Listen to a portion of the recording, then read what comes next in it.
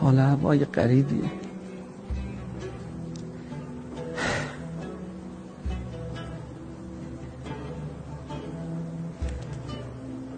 آدم یاد غریبی امام رضا میفته این که میگن قریب القربا واقعا این روزا حس میشه. و رو می‌کنم به حضرت میگم یا علی ابن موسی اینجا اومدم برای خدمت به زائرشون زمانی که ظاهرتون نیست من به کی خدمت کنم؟ خجالت می‌کشیم سنمون رو بلند کنیم. چون زمانی که می اومدیم می‌گفتیم یا امام رضا. اومدیم به زارت خدمت کردیم. در قبال خدمتی که به زارت کردیم دوست داریم یک جوابی به ما بدیم.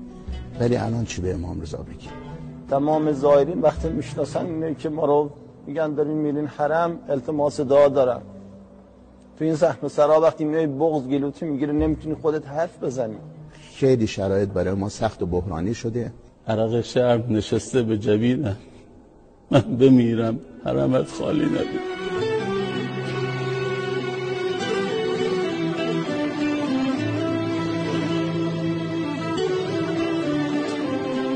سلام آقا.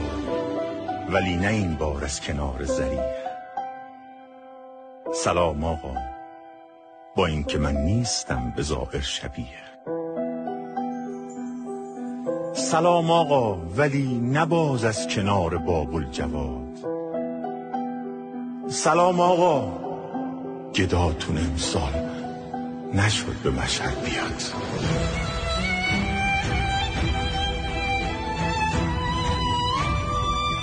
خیلی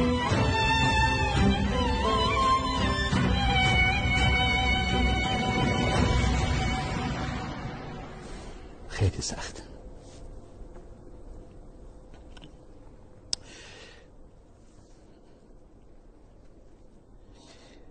امام رضا غریب نیست. ما غریبیم. به نظر من خود خادمین من اون غریب شد.